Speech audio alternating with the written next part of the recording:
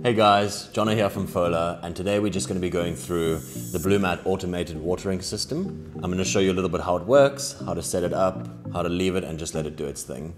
So these little Blumat systems are great. Um, I use them when I go away for holiday, and I don't really trust anyone else watering my plants because you know only I know how to do them exactly. So I use one of these guys, super easy, super simple we'll jump straight into how we set them up and how to get them working.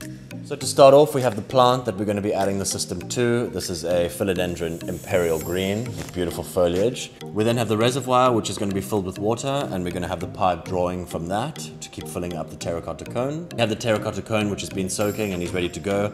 I'm just going to leave him in the water because that's going to make sure that we don't get any air bubbles inside the whole system when we're making it.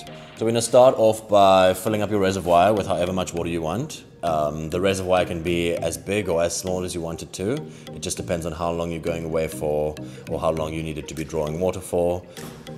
Then we're going to take our piece of pipe, which is going to attach to the cone, and we want to put the one side, it's got a little weight on the end to hold it under the water.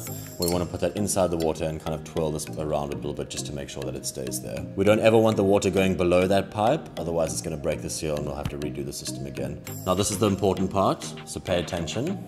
What we're gonna do now is assemble this underwater and make the seal underwater. Guy, assemble him like that, and just gently shove it on the top there. Now what I like to do is do that a couple of times because that forces all the air bubbles out the other side. So I'm just gonna do that again. And you can see every time I do it, there's some bubbles coming out.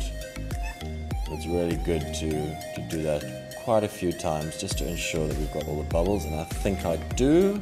Once that's assembled, um, it's very important to keep that other piece of the pipe inside the water, just to make sure there's no bubbles.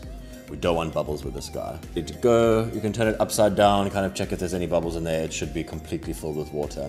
Now once you have your Blumat system ready to go, you can select your plant. Um, choose a nice place, close to the root system, but also not like breaking the roots, not being forceful with that. And you're gonna take your terracotta cone and gently push it down into the soil until it's covered about halfway of that clear reservoir there. So you press the soil down around it to make, make sure there's a good connection with the soil and the cone. And that's pretty much it. Always make sure to do a trial run after about one week just to see if the Blumat system is working properly. If it's working properly, you should see the water level go down fairly significantly depending on how dry the plant is. And if it doesn't move at all, then you know that there's a problem there and you probably haven't made that seal properly.